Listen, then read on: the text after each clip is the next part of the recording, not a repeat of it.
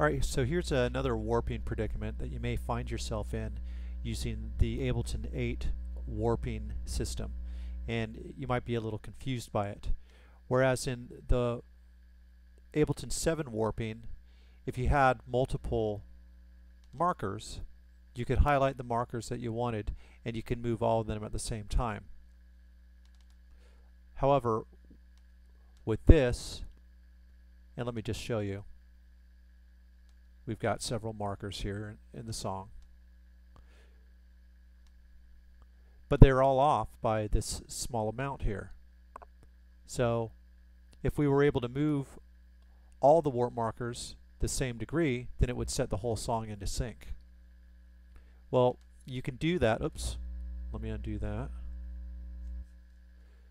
The trick to doing that is you're going to click on your first warp marker, then you're going to hit Apple A or Control A, and that's going to highlight all your markers, just like in uh, Ableton 7.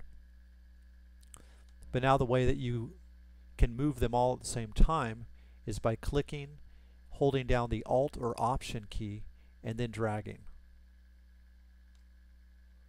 And then we'll get in a little closer. And Alt and drag.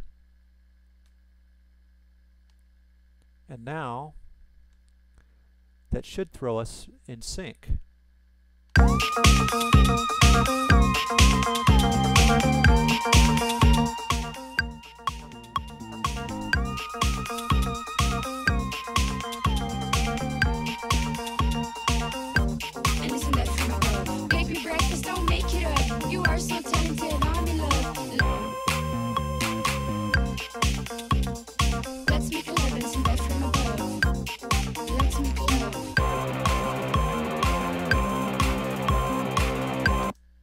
So that's another warping technique that you can use if you find yourself in a similar situation.